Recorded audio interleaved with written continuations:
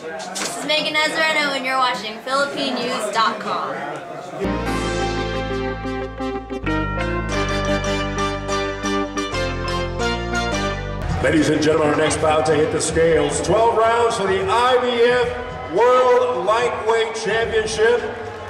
Getting his first opportunity at a world title. Undefeated fighter. He is the fastest rising Pinoy star. Make sure you remember his name. Fighting out of San Diego, California, this is Mercito. No Mercy Gesta on the scale. 134 pounds, 134, the official weight for Mercito Gesta. Facing his toughest opponent to date, here is the defending champion of the Guadalajara, Jalisco, Mexico, Miguel Ángel, El Títere Vázquez.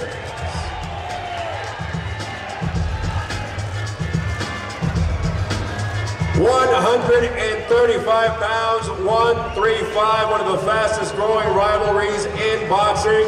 The Philippines, Mexico tomorrow night. 12 rounds for the IBF World Lightweight Championship. The defending champion, Miguel Angel El Títere Vázquez.